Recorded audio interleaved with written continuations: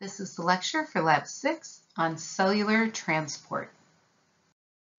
If you remember from the previous lab, all cells must have a plasma membrane. And the plasma membrane is the structure that surrounds the outside of all cells and also the organelles. The purpose of the plasma membrane is to serve as a barrier to separate the environment from the inside of the cell. And plasma membranes are selectively permeable. Permeable means that some molecules can cross the membrane going into the cell and other molecules can leave the cell and go out to the environment. It is selectively permeable because not all molecules can cross the membrane. Only certain types of molecules are able to cross the membrane. Membranes are composed mainly of a phospholipid bilayer. And a phospholipid, of course, belongs to the group of lipids in terms of macromolecules. The basic structure of one phospholipid is that it has a hydrophilic head with two hydrophobic tails. So this is an example of one phospholipid, and this yellow ball here is the hydrophilic head which interacts with water on the outside of the cell, and then two hydrophobic tails. So those are two fatty acid chains that are hydrophobic. So this is one part of the bilayer. This is the second part of the bilayer. So bilayer, bi meaning two. So one layer of phospholipids here and the second layer of phospholipids there. This is the structure that is selectively permeable. Only small molecules and nonpolar molecules can pass directly through this phospholipid bilayer. And the phospholipid bilayer is providing the main structural framework for the cell membrane. In addition to the phospholipid bilayer, there are many other components that are embedded in the membrane. One large group of molecules are proteins. And if you remember from the macromolecules lab, proteins have many different functions in the cell. But one of the most common functions in the membrane is to help with the transport of certain substances that are too large to cross through the phospholipid bilayer. And one example is a channel protein. The channel protein allows large molecules to cross through the bilayer. So it acts as sort of a tunnel to allow the large molecules to get into the cell. Another molecule that you find embedded in the cell membrane is cholesterol, and cholesterol serves as a membrane stabilizer. So here's the cholesterol over here, and it helps to stabilize the shape of the membrane. And this is especially important in animal cells. Last type of molecule that I want to mention are carbohydrates. So these would be sugar molecules and they are involved in self-recognition. So this is how cells can identify cells that belong to the individual or foreign cells. And carbohydrates, they're composed of sugars. Glyco refers to sugar, so glycoproteins are used on identification, and also glycolipids. So a glycolipid is a sugar bound to a lipid molecule. Brownian motion is an important concept for cell transport, especially for passive transport like diffusion. And Brownian motion explains the fact that molecules are always moving. And if you remember, molecules are composed of atoms, and in an atom you have protons and neutrons in the nucleus, and what do you have spinning around the nucleus? You have electrons spinning around the nucleus. So these electrons that are spinning very fast around the nucleus, it causes the whole atom to jiggle a little bit. An example would be like a top. So when you're spinning a top, if it's spinning really fast, so if the top is spinning really fast, it looks almost as if it's standing still, but it moves a little bit. So it doesn't stay on one little spot, it will move around a little bit. And often the movement of atoms, and like a top, it's very random. So you'll have an atom that will start in one place and because of that little jiggle it has due to the electrons spinning around the nuclei, that atom will move in a random uh, pattern. And large molecules are going to move more slowly because they have more mass, and small molecules will move faster. So this Brownian motion describes the motion of molecules in a liquid or in a gas. And it's basically the random motion of molecules. One example of transport is passive transport. And the most basic type of passive transport is simple diffusion. So with simple diffusion, no energy is required. The molecules are just moving because of Brownian motion.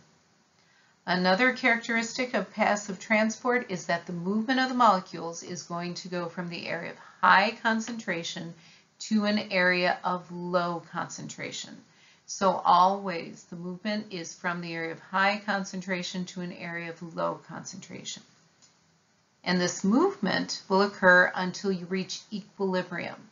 When you reach equilibrium, that means you no longer have a concentration gradient. It means the molecules have an equal concentration throughout the whole system.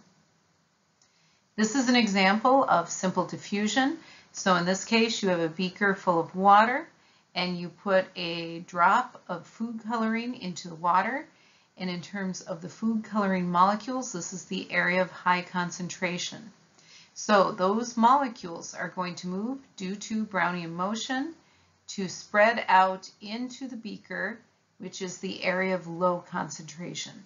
And you can see diffusion occurring because here's that drop, it's fallen to the bottom.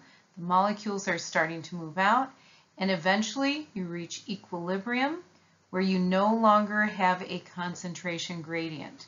So the color of the food coloring in the water, it's all even.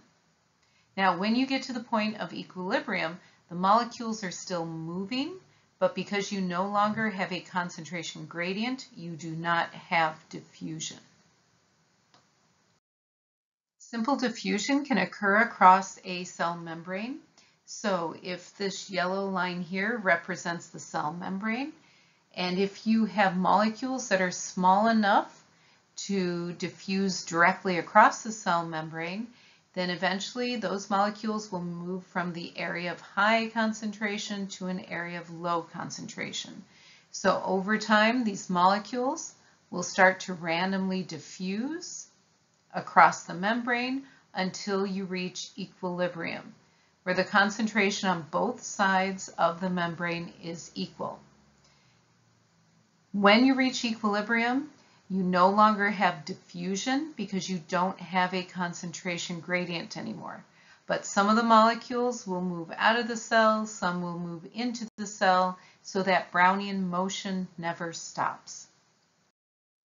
Active transport is another type of cell transport, and it's basically the opposite of passive transport. The first difference is that energy is required. And it, energy is required for this process, and it's easy to remember that because this is active. If you're being very active, you're using a lot of energy. So for active transport to occur, the cell has to use energy for this process, and the energy is usually in the form of ATP. Second difference is that the movement of molecules is going from an area of low concentration to an area of high concentration. And this is not a natural type of movement. That's why energy has to be put into this. So when the cell is moving things from an area of low concentration to an area of high concentration, you are going to increase the concentration gradient. You are actually going to build up a high concentration of the molecule on one side of the membrane. This is a diagram of active transport. So here's the cell, this is the phospholipid bilayer, and for this you need to have a transport molecule. So that's some sort of protein that is embedded in the phospholipid membrane. So outside of the cell is a lower concentration of the molecule. Inside the cell is a higher concentration of the molecule. So in order to actively transport this molecule into the cell, the cell has to use ATP because this is not a natural passive type of movement. And what you end up doing is creating an area of high concentration and an area of low concentration. So that's a concentration gradient. And because of that, active transport never results in equilibrium. It's more like you're sort of stockpiling molecules on one side of the membrane. Osmosis is a very important type of transport for living things. And the basic definition of osmosis is the diffusion of water across the cell membrane. And this is a really important definition for three reasons. It is referring to diffusion, so that's passive transport. So everything that is true about passive transport, simple diffusion, is true about osmosis. Second important thing about this definition is it refers to water molecules only. So you're only talking about water molecules when you're referring to osmosis. And the last thing that is important about this definition is it's referring to the cell membrane. So for osmosis to occur, you have to have a cell membrane. So osmosis, the diffusion of water across the cell membrane. So you're basically tracking if water is going into a cell or going out of a cell. With osmosis, we are concerned mainly about solutions. And a solution is a mixture of two or more substances. The first substance is called a solvent, and the solvent is the dissolving agent. And in biology, it's really, really easy because the solvent is always water. In chemistry, the solvent can be something else like alcohol, but in biology, the solvent is always water. So whenever you hear the term solvent in terms of biology, it means water. The second component in a solution is the solute. And the solute are the dissolved materials that you find in the water. And that can be many different types of things. It can be gases, it can be nutrients, it can be waste products, it can be sugar. And a solution is always expressed as a percentage. So if you have a solution that is 5% sodium chloride, and sodium chloride is salt, then it must be 95% water. So when you express something as a percentage, that means the total number is 100%. So if you, if you are given the percentage of the solute, you can figure out the percentage of the water. You just take that number and subtract it from 100. When talking about osmosis, there are three important terms we use, isotonic, hypotonic, and hypertonic.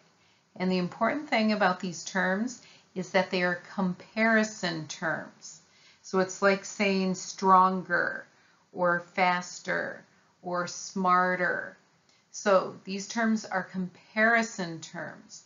And in osmosis problems, what you are comparing are two solutions to each other. So again, these terms are used when you compare two solutions to each other. So an example or analogy could be the height of people. When you compare the height of people, you can refer to someone as being taller or shorter. So when you compare Draymond Green to Kevin Durant, Draymond Green is shorter than Kevin Durant. So that's a comparison. But then if you compare Draymond Green to Stephen Curry, Draymond Green is taller than Stephen Curry. So that's what I mean by comparisons. And in terms of osmosis problems, what you are comparing are the cytoplasm compared to the environment. So the cytoplasm of the cell, that is a solution inside the cell, and you're comparing it to the solution outside of the cell. Now I want to go through those three terms in more detail. So I'll start with isotonic. And to remember the meaning of the words, it's good to go through their roots. Iso means equal and tonic means solute. So solute, remember, the, that is refers to the substances that are dissolved in the water. And iso means equal, so it means the solutions have the same amount of solute. So isotonic solutions are when the two solutions, remember this is a comparative term, when those two solutions have equal concentrations of solute. So if they have equal concentrations of solute, then they have equal concentrations of water. So if one solution is 10% sodium chloride, then the second solution will also have 10% of solute. So when you have isotonic solutions, then there will be no osmosis. The reason you have no osmosis is there is no area that has a higher concentration of water. So water will still cross the membrane, but you won't get a net gain or a net loss of water. And when you have isotonic solutions, that means you are in equilibrium. Again, because there's no concentration gradient, there's no net gain or loss of water across the membrane. So here are two examples of an animal cell and a plant cell in an isotonic solution. So that means this solution, the environment, has the same concentration of water and same con concentration of solute compared to the animal cell and compared to the plant cell. So water can, molecules can still go in and still go out, but because you don't have a concentration gradient, you won't get a net gain or loss of water in the cell. And the same for the plant. So water molecules can move in and water molecules can move out. If the two solutions that you are comparing to each other are not the same, do not have the same concentration of solute and the same concentration of water, then one of those solutions must be hypotonic and the other one must be hypertonic. So like comparing height, if the two people are not the same height, then one must be taller and one must be shorter. So a hypotonic solution. Hypo means less, like hypothermia means that a person's body temperature is lower than normal. And tonic, of course, means the solute. And again, solute, that, that is the substance that's dissolved in the water. So the hypotonic solution is one with the lower concentration of solute. And if it has the lower concentration of solute, that means it must have the higher concentration of water. So now you have a concentration gradient. You have one solution that has a higher concentration of water than the other solution. So in this situation, you will get osmosis. And the water is going to move out of the hypotonic solution to the hypertonic solution, which I'll talk about in a minute. And this is an example of putting cells in a hypotonic solution. So in this case, this solution, the environment is hypotonic, which means that inside the cell, it must be hypertonic.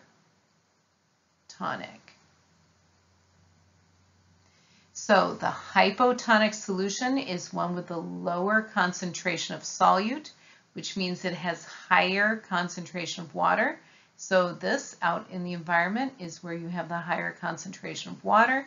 So it's going to move into the cell. And if enough water keeps moving into the cell, then the animal cell is going to rupture. For plant cells, it's a little bit different. You have a lot of water moving into this plant cell because the plant cell is hypertonic compared to the environment. But the plant cell will not rupture because the plant cell has that rigid cell wall, which will prevent the membrane from rupturing. So again, if the two solutions are not isotonic to each other, if they're not the same concentration, then one has to be hypotonic and one has to be hypertonic. So I went through the hypotonic solution, now the hypertonic solution. So hyper means higher. If you have a kid that is hyperactive, that means that kid's activity level is higher than normal.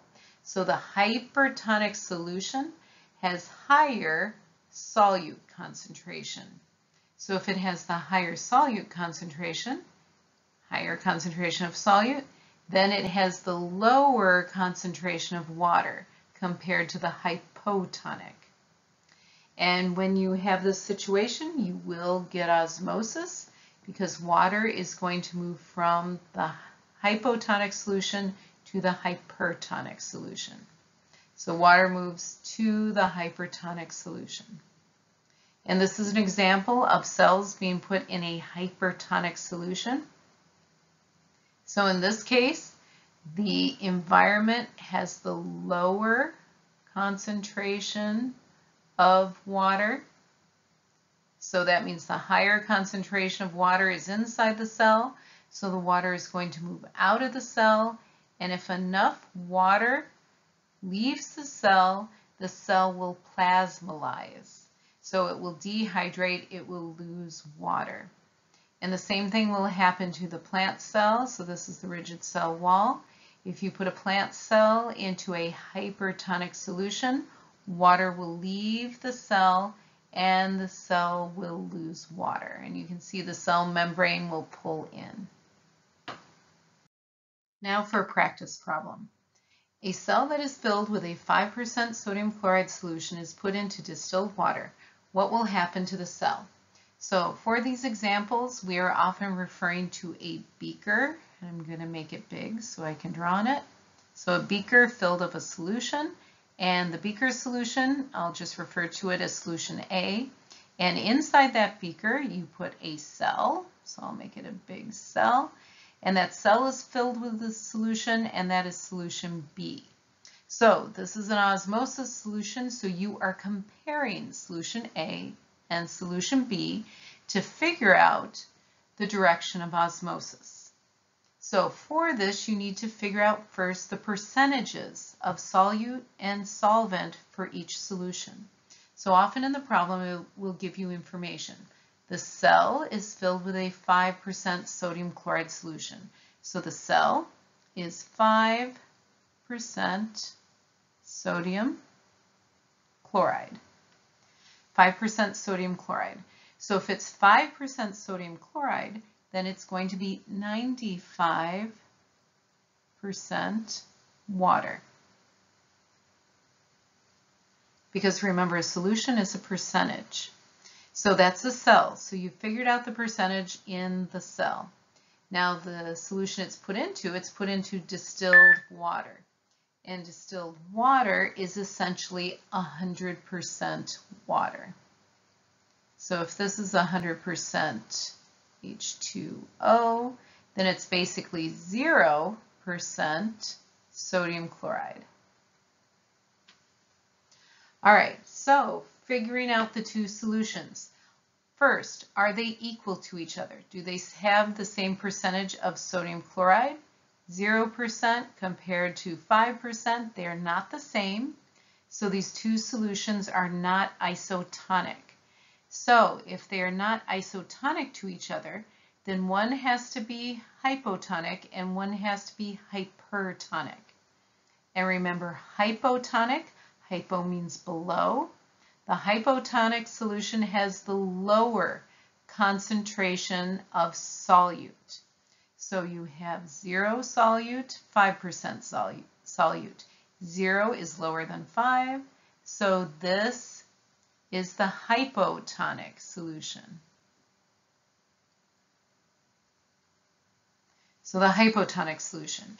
And just to double check, remember the hypertonic solution, hyperactive kid, high activity level.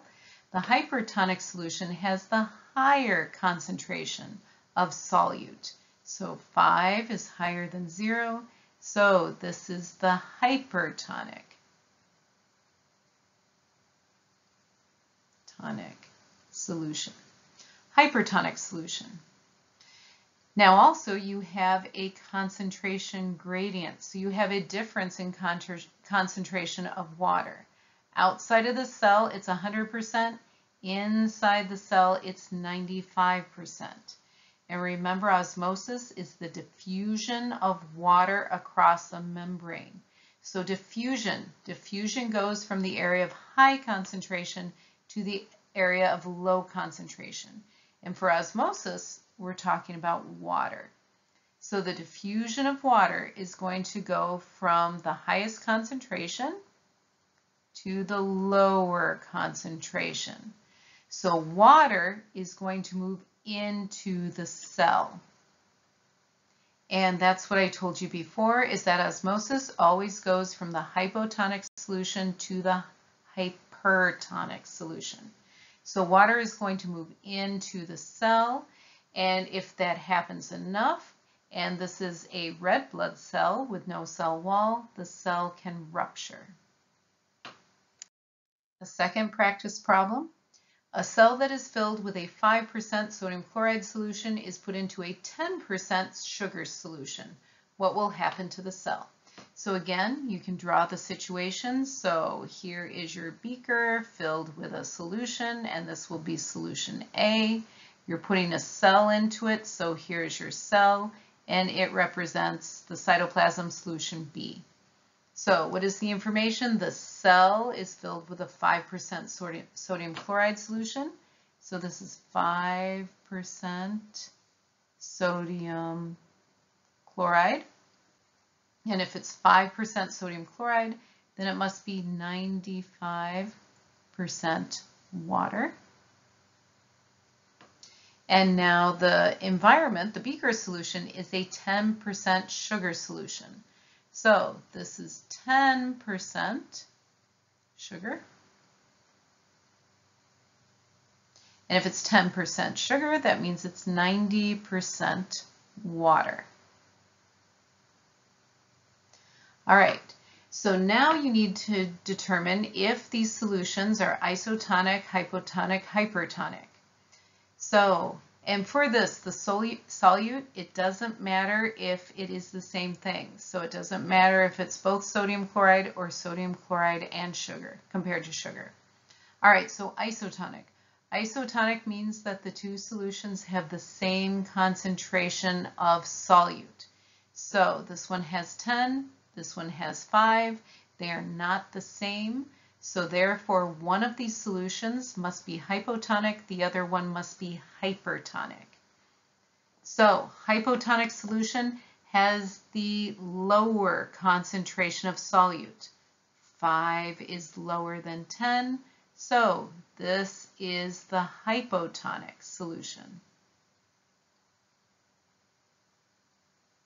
So that's the hypotonic solution.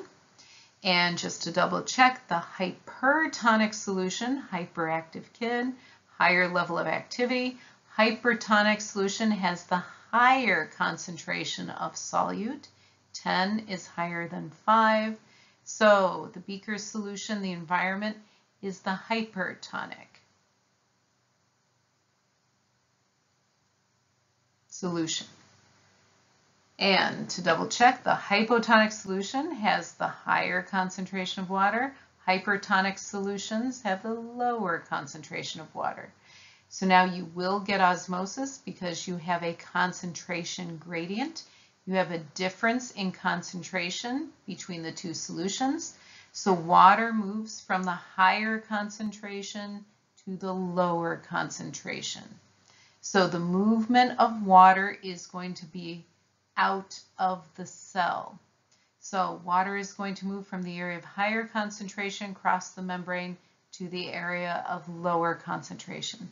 And again, osmosis moves from the hypotonic solution to the hypertonic solution. The last practice problem is a little bit different. This one states when a cell is placed in a sugar solution, it gains water. Explain what happened. So for this example, you just draw the situation. There's your beaker with the solution, and that is solution A, the environment. Here is your cell inside the beaker and the cytoplasm is solution B. And the information you have is that when the cell is placed in the sugar solution, so solution A has some amount of sugar in it, it, the cell gains water. So what do you know about this is that water is moving into the cell. So you have osmosis occurring, water is crossing the membrane, and it's moving into the cell. So that must mean that the two solutions, solution A and B, are not isotonic. Because if they were isotonic, you would not have a net gain of water, which is what this situation tells you is happening. So since those two solutions cannot be isotonic to each other, one must be hypertonic and one must be hypotonic.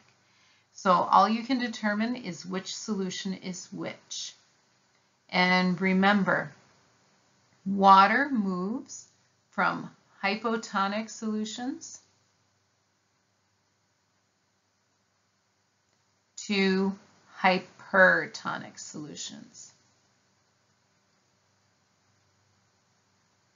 So that must mean that solution A is hypotonic and solution B, the cell is hypertonic.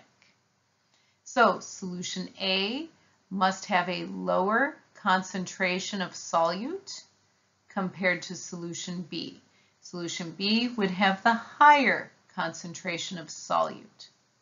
So conversely, solution A would have the higher concentration of water and solution B would have the lower concentration of water. And of course, through this example, you can't tell the exact concentrations of each solution, but you can figure out the situation and you can figure out the direction of osmosis.